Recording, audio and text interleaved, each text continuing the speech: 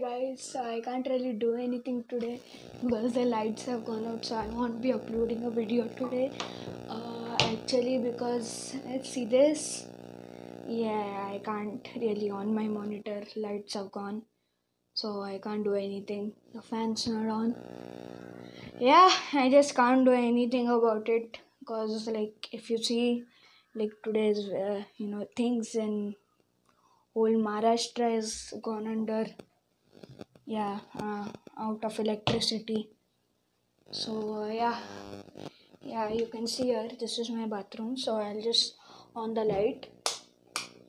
See this I can just on the light and see here so there's no light in the house. There's you know so I can't do anything yeah.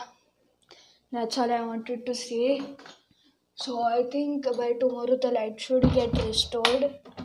So yeah by then see you